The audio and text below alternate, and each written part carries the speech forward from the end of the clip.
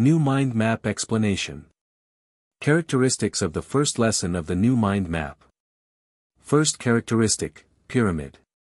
The mind map resembles a pyramid.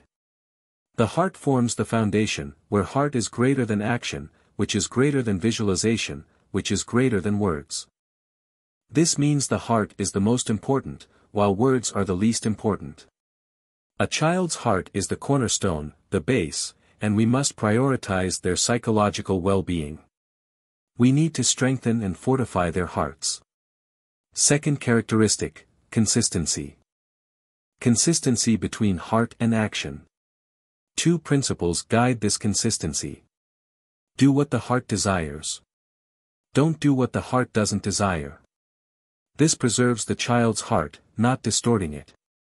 Only by maintaining this can the child's heart become firm and healthy. Consistency in visualization.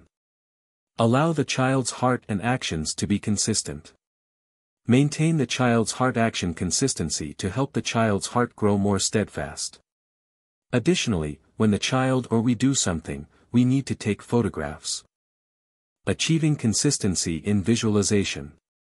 These photos can be turned into PowerPoint presentations or videos.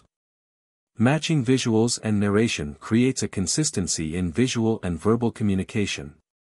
By achieving this, the overall consistency of the new mind map is ensured. With such consistency, the inner thoughts and ideas flow naturally, with the heart being transparent. This transparency is crucial, especially for children with autism, as they may have thoughts but struggle to express them. Through heart action consistency, visualization consistency, and visual verbal consistency, we ultimately aim to achieve heart expression consistency. When the heart can express what it holds, a child with autism is no longer closed off, or autistic. This concept centers on achieving heart expression consistency.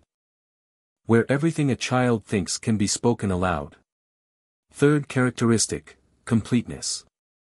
The heart is whole, serving as the foundation. The heart is inherently good, and this serves as the basis for the mind map. The heart of a child is complete.